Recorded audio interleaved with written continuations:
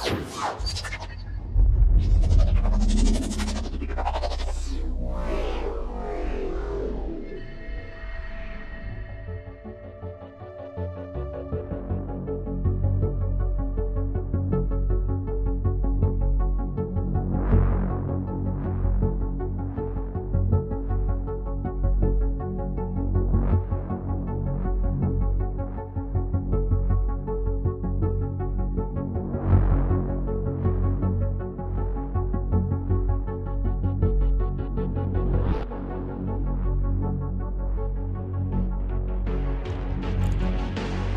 Might want to change the world, but any time it can be used against you.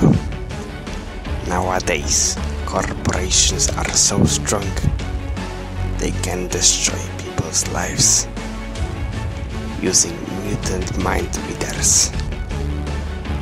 They call them agents.